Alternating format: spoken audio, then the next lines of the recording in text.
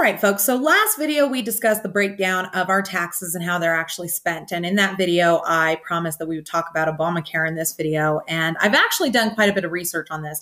I didn't even really think about it until I watched a segment from John Oliver's Last Week Tonight.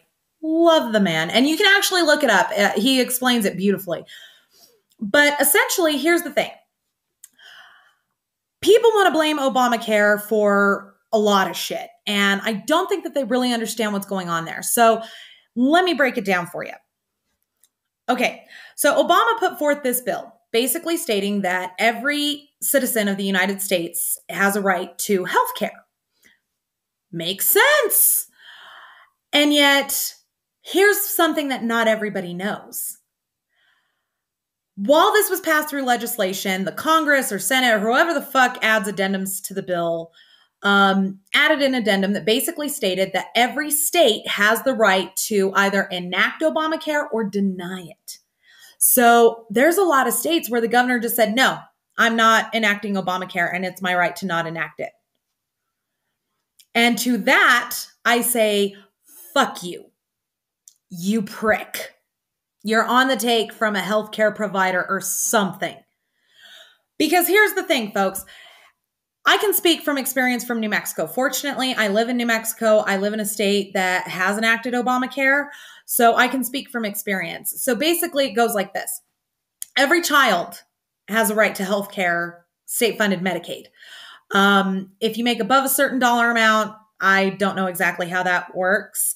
But I do know that here in the state of New Mexico, if your child does not qualify for Medicaid because you make too much, you can then go to New Mexico Kids and file for state health care through that uh, venue.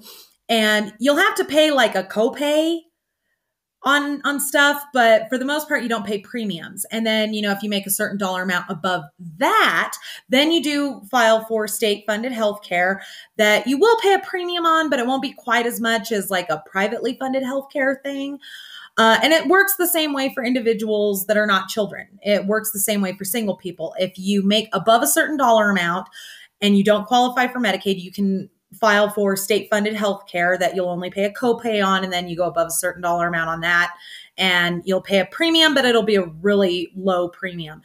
And so that's how the the system is run here in New Mexico. And from what I understand, that's like straight across the board for all areas that have Obamacare. If anybody, you know, has more or more detailed information on that, comment below, let me know, let's update shit but that's what I understand from there. But I do know that the state of Texas refused to enact Obamacare. I believe Louisiana did as well.